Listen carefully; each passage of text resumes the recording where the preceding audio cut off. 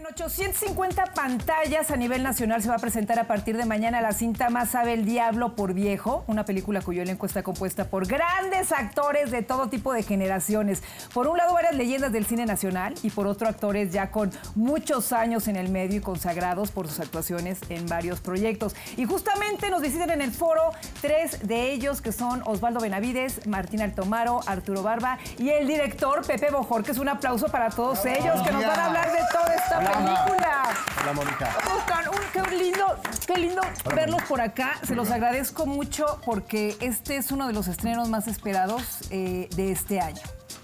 ¿A poco no, mi Pepe? Así es, estamos felices. Y, y te digo una ¿no? cosa, Chavos. a- a- ahí les va. No únicamente están ellos, y lo que me parece maravilloso es esta dirección, no únicamente de grandes actores como los que tenemos aquí, sino también del señor Ignacio López Tarso, de la reina del cine fantástico, de Lorena eh, Velázquez. Velázquez, justamente de la señora Isela Vega. ¿Cómo fue manejar todas estas actuaciones? eh, Tantos egos, Pepe. ¡Tantos Tantos egos! Con mucha paciencia, ¿no? ¿Cómo fue paciencia trabajo? para los jóvenes y para los mayores. No, no, padrísimo. Fue impresionante, ¿no? Hicimos una gran, eh, un gran equipo con ellos y, y fue una unidad espectacular. Todos son muy generosos, tienen un talento desmedido y mucha experiencia, ¿no? sí.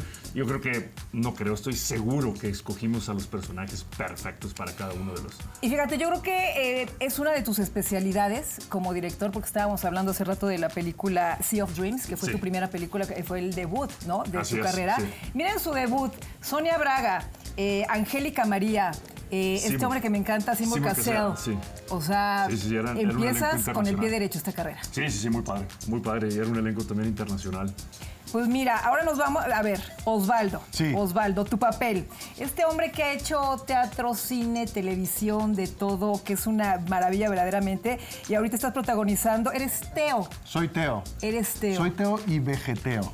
O Yo sea, sé- so- soy un, un actor que no tiene trabajo y que lo confunden en la casa del actor, en, la- en el sindicato de actores y le cambian la edad Sí. en, en los documentos. Entonces lo hacen pasar por un tipo de ochenta y tantos años. Él aprovecha esa oportunidad y se mete a la casa del actor a vivir porque ahí le dan techo y comida, él no tiene un bar, Porque está, no está roto. Exactamente. Y ya una vez ahí dentro, dentro de, de la casa del actor, conoce a estos actores que ya de alguna manera están olvidados, ¿no? Ya ellos ya no hacen nada, están deprimidos. Y él con su pasión y las ganas que tiene de hacer las cosas, los, eh, los, no los contagia, sino los, como decíamos ayer, Les despierta, les despierta esa pasión y esas ganas de volver a hacer pues, lo que hacían y lo que les apasiona. Entonces uno de los mensajes de la peli es esa, no hay edad para la pasión, para, para el amor. Y ahí es donde pasa la aventura, ¿no? En este choque de generaciones entre los adultos mayores y los Y- no tan Y mayores. te digo algo, que es una situación muy cierta en estos momentos porque la casa del actor está funcionando desde hace, pues, ¿cuántos años? Que la lleva Mati Huitrón. Y, y fui hace poquito, fíjate, a entrevistar a Carlita Estrada, que andaba por allá grabando la serie de Silvia Pinal. Y sí, te metes a los cuartos y, y de pronto te entra entre tristeza, pero, pero las ganas, ¿no? De todas estas personas, enfermeros, que quieren sacarlos adelante, ¿no? Pues sí, sí, o sea, la verdad es que la casa del actor actual no es tan, no está tan mal, o sea, No, es un beneficio bastante decente. Pero bueno, lo importante de esta peli es que Sí. es una comedia familiar, ¿no? Donde pueden ir desde el más joven de la familia hasta el más adulto, ¿no? Puedes, Exactamente. puedes ir con toda la familia, es divertida, es entrañable. ¿Qué más nos pueden decir, Martín, muchachos? Martín, Proactiva, con mucha energía. La verdad, ver. el, el- el- Juvenil. o sea, el- el grupo que se arma en, en esta película con Pepe, eh, lo que dicen de las dos generaciones son varias generaciones, son... O sea, estamos hablando, o sea, yo no sé cuándo empezó don Ignacio. eh, Ayer apenas. ayer, ¿no? Empezó, sus llamados empezaron. como sí. más de 54. 60 Pero estamos hablando de, de muchísimas generaciones. Sí, Isela, este, Isela juntos. Vega. Isela, Lorena. Tara eh, Parra, Tara Parra. Ricardo de Pascual, bueno. Pato Castillo. Lorena, que la puedes ver en fotografías con Tintán, haciendo Ajá. maravillosas Y, el actuaciones. y con el santo y con. O sea, y entonces, como toda esta eh, unión Sí, es cierto. se dio de una manera muy natural y muy fresca y muy sabrosa para trabajar. Porque fueron, o sea, no es que tuvieron dos llamados, ¿eh? Esto- estábamos todos los días, todo. éramos muchos. Ahora, se, se logró muy bien. Tu personaje, eh, eres amigo de Teo Ajá, y eres, eres conductor de Turibús. Sí, yo, yo hago como muchas cosas. Este, a ver. Cómplice. Em, soy un tipo que está como todo el tiempo quejándose de- de- del sistema y es como medio contestatario y pero también hace medio cosas medio como con chanchullo, entonces le toma el pelo de pronto a algunos turistas y entonces los saca a pasear por la ciudad en otro tipo de turismo. Es una cosa ahí medio rara. Y es el que le ayuda a Teo a, a inventarse todo este viaje eh, de cómo, cómo van a hacer esta web, webnovela, que es lo que, lo que va a ayudar a, a todos estos, a estas personas mayores a, a, Es como hacer, que a a, a volver a, volver a trabajar, volver a encontrar esa pasión, ¿no? Ahora, por acá Arturo, tú eres el, el- el doctor, el doctor eh, Bellamy. doctor Bellamy, sí. Bellamy, ok. Así ¿Tu es. papel exactamente es? Es el director de la casa, es el que maneja ahí las finanzas, es un tipo un poco... Es malo, él es La malo. frase que le gusta a Pepe es de, es de ética distraída. De ética Este, distraída, eso me gusta. Entonces usa la casa del actor como caja chica de varios business que tiene ahí en la polaca. En fin, es como una... Es, es, es meterle Partidazo. un poco... Partidazo. Partidazo. Se, quiere- se, se- se empeña en estar con la enfermera ahí, que es la chica... eh, buena, rosa, linda. ¿Quién hace el papel? Divina, ¿De la Sandra? Echeverría. Ah, Sandrita, pues es la con la que es. pues, no te estás enamoradísimo. Bueno, Así es, no, entonces, no bueno. tanto. Nada, que me toca hacer como las diabluras de la película, este, siempre divertido con sus compañeros y con este director, pues pura gozadera. Y de verdad este, estamos muy contentos. Fuimos a la premier cuando... eh, El jueves pasado. El jueves y de verdad sí. súper, súper sorprendidos, de verdad. Como que- y de verdad, eh, increíble, increíble, increíble. La van a de- gozar de- cómo quedó el resultado- Sí, el resultado final. Muy padre. ¿Sabes qué tiene, qué tiene esta peli que me gusta decir y presumir? Que el reparto que, que lo que la conforma es difícil que se vuelva a presentar Sí. en este país, ¿no? Porque es, Es un, es un botón de muestra de lo que ha sido el cine nacional desde sus inicios con la época de oro en las películas de Lino Fernández, o sea, López Tarso, pasando por las ficheras, por las películas del Santo, por las películas de los Almada. Está todo, todo lo que se ha hecho de cine Es está ahí y lo que y actualmente pues lo que hacemos nosotros, ¿no? Y- sí, Y hay mucha magia. Mónica, porque, por ejemplo, hay escenas donde eh, Osvaldo está caracterizado el vegeteo y en escenas con don Ignacio López Tarso que se te olvida que es Osvaldo, ¿no? Realmente se convierten en mejores amigos, donde aquí Martín, el personaje de Red, anda con Isela y se coquetean, ¿no? Entonces Qué se mezcla todo esto de una forma muy padre. Qué maravilla. Y fíjense que ustedes forman parte pues de todos estos mexicanos, bueno, tú mitad argentino, pero Ajá. que ya ni, ni argentino, ¿no? Ni me sale. Bueno, ya ni te Ahorita sale, ni ya. me sale.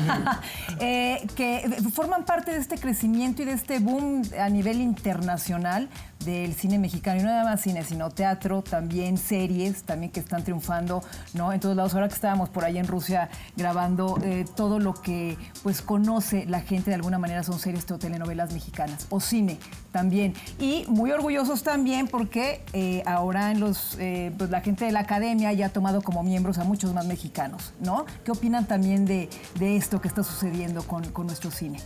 Excelente, ¿no? Creo que se está abriendo y la gente está viendo el cine mexicano ya como, como una eh, oferta padre, ¿no? Para Sí, ir y, sí. y- y disfrutar y divertirse, ¿no? Y, y lo padre es que haya diferentes géneros dentro del cine, no nomás que salga el mismo, ¿no? Todo es comedia, ficción, horror, drama, ¿no? Que se den todas esas oportunidades y el, el- el talento latino, ¿no? Ya está a nivel universal. Fíjate, estamos hablando de un Damián Alcázar, eh, María Rojo, Sai- eh, Saide Silvia Gutiérrez. El- un- muy interesante, un grupo de, de escritores mexicanos también está formando parte de la academia. Estamos hablando de Laura Esquivel, de Sabina Berman, de eh, Gibran Portela, escritor de La Jaula de Oro. Entonces, me parece ¿no? interesantísimo más las oportunidades que vienen con, con todo esto, ¿no?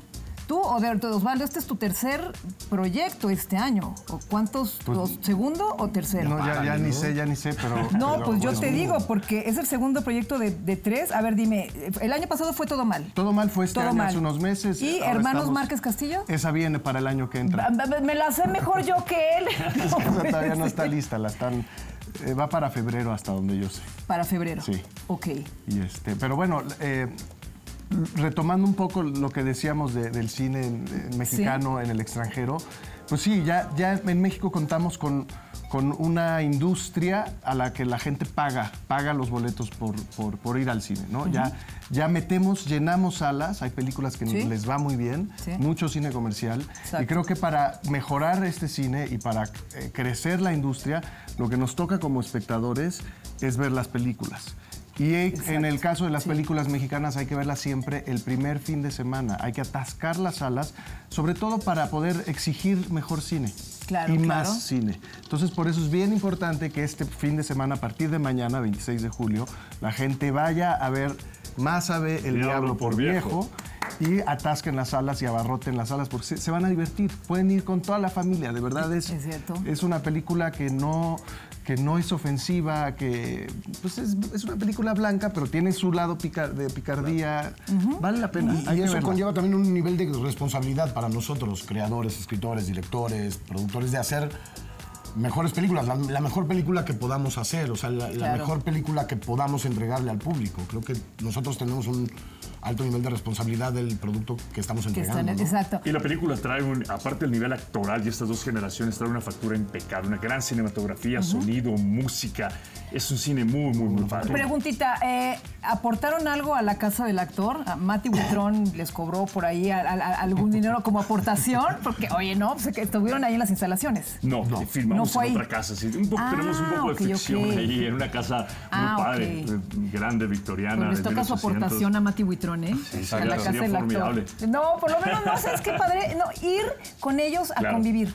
Con Sí. todos ellos que están de pronto en sus cuartitos ahí metidos, pues ustedes saben, ¿no? A ver, este es un poco, pues, toda esta parte de la Estaría padre llevarles la película, ¿no? Estaría padre. ¿Verdad que sí? Ah, finalmente, pues, es que yo me quiero quedar con ellos, pero pues creo que la Bielka y Juanjo están allá adentro esperando, pero espérenme. Último tema, ahora que se ha dado mucho toda esta controversia con, con las narcoseries que unos sí quieren hacer, que otros no quieren hacer, ¿cuál es su punto de vista? Quiero un, un poquito breve del punto de vista de los de los cuatro. Tú has estado en El Señor de los Cielos, ¿tú has- ¿no, Arturo? ¿Has Recuerdo estado? que sí, sí. Ay, pero me acuerdo más yo de lo que ustedes se acuerdan, no, No, lo puedo claro creer. sí. Entonces, claro.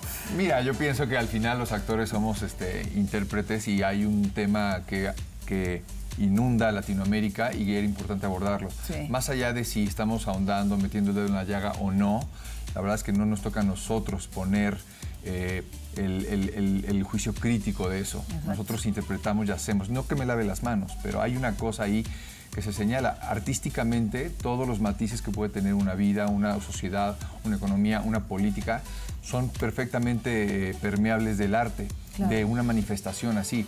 Ahora, ¿se tienen que seguir haciendo o no? Es muy difícil decir. Es, es como decirle a la gente, la gente es tan idiota que si haces una serie, entonces estás fomentando eso. No lo sé. No sé si realmente son apologías. Es una discusión que he tenido mucho. Sí. No creo que sean apologías. Quien piense que ese es el mundo del narco, eso que se ve ahí reflejado, está muy lejos de la realidad. La realidad, sabemos, es muchísimo más cruda. Claro. Entonces creo que hay una cosa de responsabilidad de decir, estamos plasmando esto, pero eso no significa que Sí. tú no seas un ser humano inteligente, capaz de discernir, poder- de poderte, perdón, divertir, pero también entender que hay matices en la vida como en todo. Es cierto. Wow. Va, Martín, Osvaldo, ustedes. A mí no me ha tocado eh, nunca la posibilidad de interpretar un personaje así, entonces no, o sea, Pero lo harías. no lo sé. No lo sé. ok, ok. No, no lo sé. ¿Y Osvaldo por acá?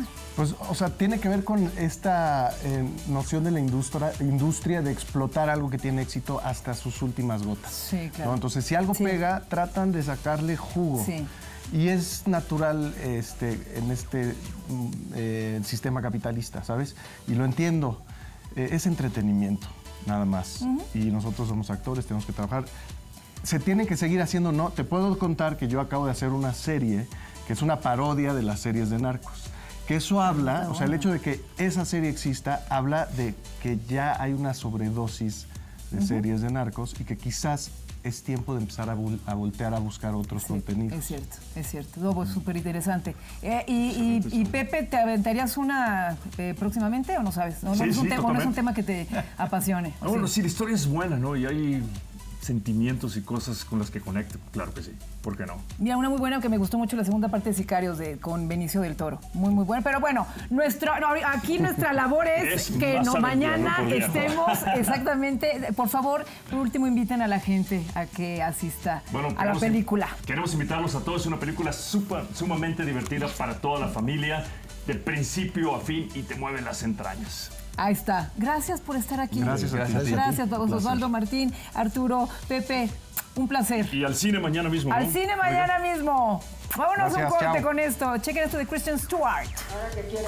Me están ofreciendo una cama en la casa del actor para que me retire. Ahí dice que nací en el 38 en lugar del 83. Llevo ocho meses sin trabajar, ni siquiera de extra, Elsa. Debe ser un error en el sistema. Cambiado tu fecha de nacimiento.